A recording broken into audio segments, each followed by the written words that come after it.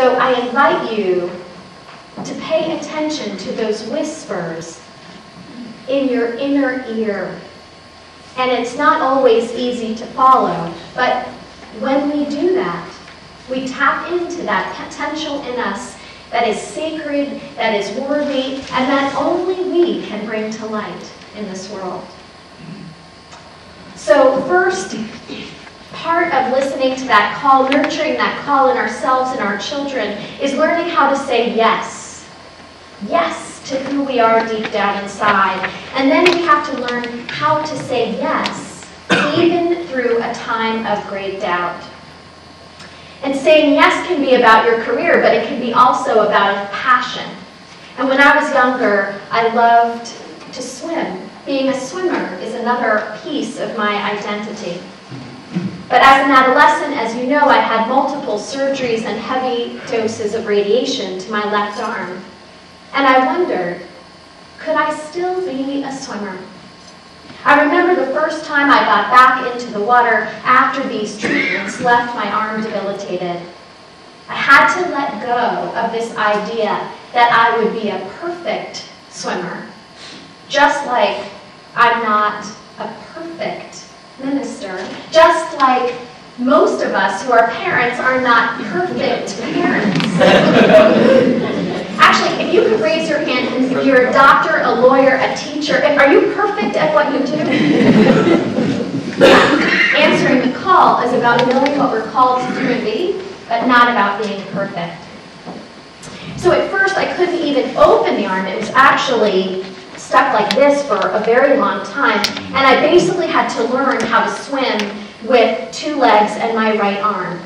And I kept on swimming in spite of the pain, and slowly I grew able to open the elbow and to push the water through my fingertips to some point once again. It was painful and difficult, but I was able to navigate the waters of the pool and to trust in my abilities, however limited, because I did love to swim and felt called to be in the water. And for those of you who are swimmers, you'll appreciate this. When I got back into the water for the first time, a lap in the pool took me a minute and 27 seconds. That's actually a pretty long time. But after six months of healing and practice, I was able to shave a minute off and managed to swim the lap in 27 seconds. I'll never forget the day that that happened. I was taking part in a competition, and my teammates were cheering me on as I tried to give it my all. Well, I came in second in time in my heat, and the whole team rushed forth and pulled me out of the water for a celebration and cheer at my success. Now, the winner and her teammates were totally bewildered. After all, I had lost. I had lost the race. But what they didn't realize that I had won something more precious. And instead of letting fear and pain and limitations hold me back, I dove in head first to give that lap and to give swimming and to give my life all the imperfect gifts that were mine to spare. So First, we must know what we want to say yes to, what we feel called to say yes to. Then we have to learn how to say yes even through a time of doubt and even in spite of our limitations. And then often we have to learn to say no in order to say a stronger yes, to be able to say yes clearly. And to this, I turn to Faye Wattleton, who some of you may know um, from her work for reproductive rights uh, and Planned Parenthood.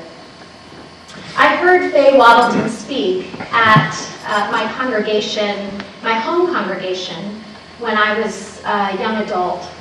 And she expressed a guiding sentiment that calls me back to my senses whenever I spread myself too thin. In order to say yes to something, we sometimes have to learn to say no. Amongst other achievements, she served as president of Planned Parenthood from 1978 to 1992. And all of us who care about reproductive rights owe her a debt of gratitude. I remember when she spoke afterwards, we were allowed to ask questions, and a member of the audience asked this, why did you decide to limit your work to women's issues? She replied that there are an infinite number of causes that she would be interested in working on, and if she tried to work on all of them, she would make such a slight difference that it would be imperceptible. However, if she made a choice and a lifelong commitment, she could make a huge impact. And that is exactly what she's done. And it's so important to have a sense of what your call is because one person also asked that same question in a different way. As an African American woman, they asked, why had she not made a difference in the lives of black people? To which she responded, women are 50% of the population. So she had a very clear sense of what she wanted to do. And we are in a time of discernment like that ourselves.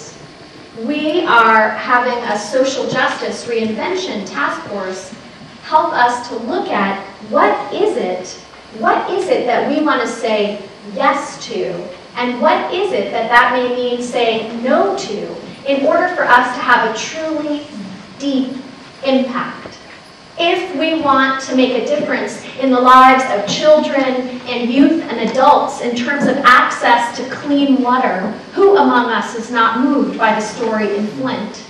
It will mean making choices to allocate our time, our resources, financial and skill sets towards changing access to clean water. And imagine what we could do in a year together if we directed the $40,000 of giving, the thousands upon thousands of hours we donate, and the thousands upon thousands of skill sets that we have to that issue, or choosing something else. What about spending time eradicating racism? What would it look like to allocate our time, talent, and resources towards saying yes to that as a community in a really powerful way. What might we be able to achieve together? So that's part of that question that I think Faye Wattleton offers us and the Social Justice Reinvention Task Force offers us. What does it look like to say yes in a way that invites us to change our whole lives and impact the lives of others as well?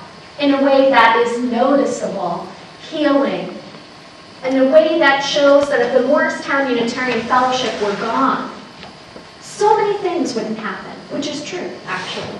If we were not here, so many conversations would not be had, so many things would not be possible in Morris County.